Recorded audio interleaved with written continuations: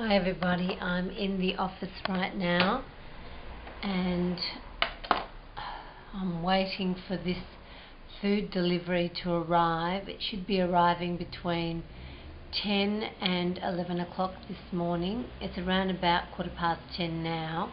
So hopefully I'll get a text message from the driver saying exactly what time they're coming. I've already eaten, but I just wanted to show you what I've bought for food this week and what I shall be prepping for my post-workout food.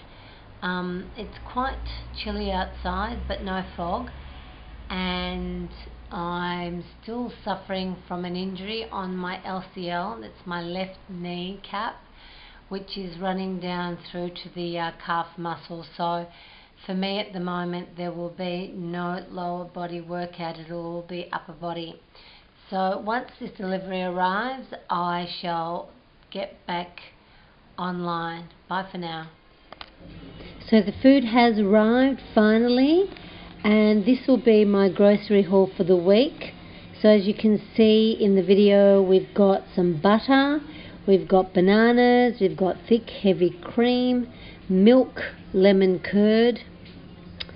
I've also purchased some mushrooms, vanilla bean ice cream, some eggs, and um, there are some sunflower seeds, some sultanas, again the butter, some lamb shanks, some roast beef. I've got baby spinach, um, some lamb chops, a cucumber, there are my lamb chops right there. And what else did I get? There's the baby spinach.